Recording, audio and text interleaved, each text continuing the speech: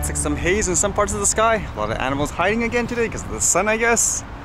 And with that in mind, what's going on today? Usually during the hot weather, there would be things like forest fires, unfortunately. But I guess in terms of fire, how about reading this, where apparently somebody tried to, I guess, do some testing in terms of a manned drone, if that's what you want to say anyways. And it apparently caught on fire. It's kind of crazy. I guess this person posted it in his LinkedIn account, just showing what the faults were per se, and hopefully people learn from it. But yeah, that's kind of crazy to see.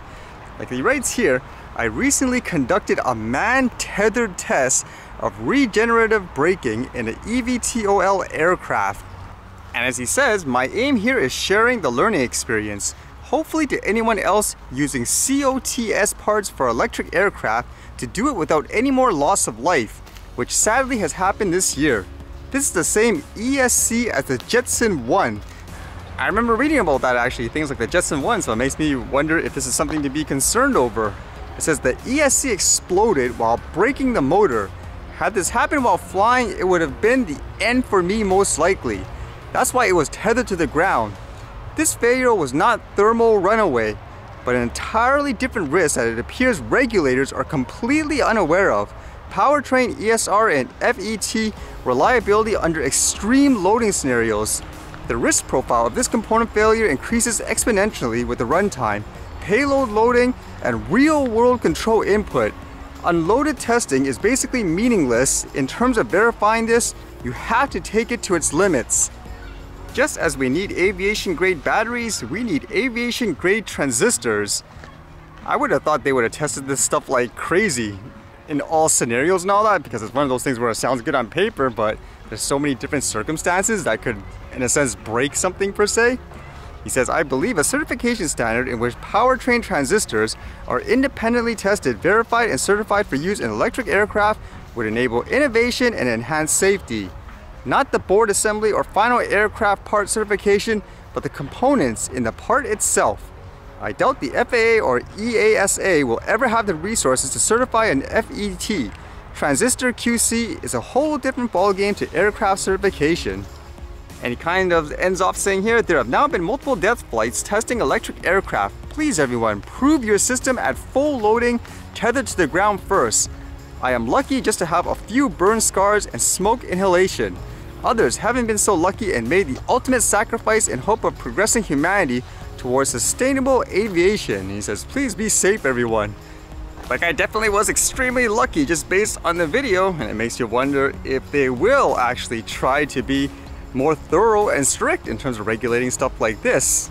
It's like what I said before, I don't know, people fear things like a recreational drone all the time. I even said, if you want to use this stuff, for example, carrying passengers and all that, then be strict, regulate them like crazy because in those situations like this, imagine that if someone was actually flying in the air and it blew up and all that. Now that is extremely dangerous versus someone flying literally a quote toy just around a tree or something like that and treating it as if it is the exact same thing. And I read this today which was kind of interesting. It dealt with Jack Ma, who is the person who founded Alibaba and in recent times, he was very vocal, I guess, about how things like the government is run in China. And I guess you could assume they didn't like it and he kind of disappeared per se. Stopped, I guess, doing a lot of these types of speeches and all that. So you have to wonder, was he just taking a vacation or the government, in a sense, silenced him? So now today you read this, it says, Jack Ma to give up control of fintech giant Ant Group. China's billionaire tech boss Jack Ma plans to cede control of Ant Group, the fintech powerhouse closely affiliated with Alibaba, the e-commerce giant he founded, the Wall Street Journal reported on Thursday. If realized, the move will mark another important turn in Ant's restructuring and power shuffling since China called off its $35 billion initial public offering nearly two years ago. Ant Group could not be immediately reached for comment, in November 2020, Chinese authorities halted Ant's IPO, which at the time would have been the world's largest public listing and subsequently ordered Ant to undergo a rectification process that was subject the firm to the same financial regulations that oversee traditional banks. Up until that point, Ant, like many other Chinese internet firms, had been growing at a breakneck speed in a relatively lenient regulatory environment.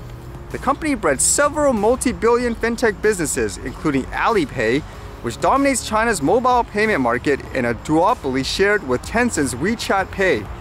So who knows what's going on, but I guess you can't deny the coincidence there where when the president started to speak out about the stuff then all of a sudden I guess they're exiting certain businesses and all that ultimately. Maybe it's related, maybe it's not, but it's kind of interesting to see what's going on here, huh?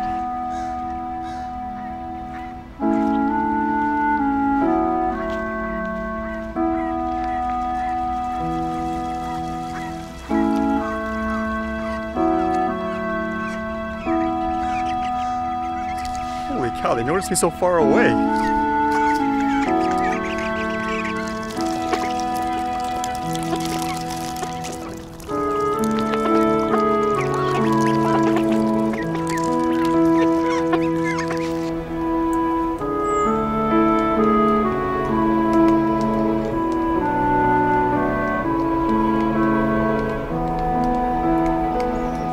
Identify that bird.